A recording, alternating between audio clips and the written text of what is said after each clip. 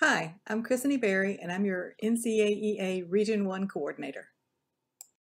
Hi, everyone. My name is Christine Liao. I'm the Region 2 Coordinator. I'm also an Associate Professor at UNCW. I'm also the Program Coordinator for the Art Education MAT program at UNCW. Hello, I'm Jody Aker. I live in Johnston County and I teach high school in Wake County. I am one of the Region 3 coordinators and I'm also part of the web development team. Hi, my name is Allison Ellis. I am from Columbus County. I'm Region 4's co-chair and I'm excited for this new year.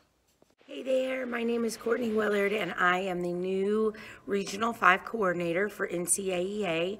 I live and work in Pilot Mountain and I, fun fact, just passed my national boards for the first time.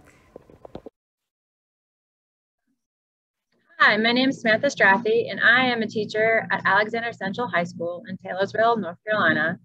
And I am co-chairs with Janella West in Region 7 and my fun fact is that I thrive off of Pepsi. My blood is likely made out of Pepsi.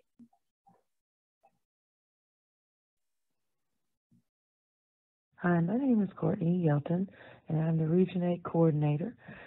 I teach currently in Buncombe County in Asheville, North Carolina. I look forward to everything we can accomplish together this year.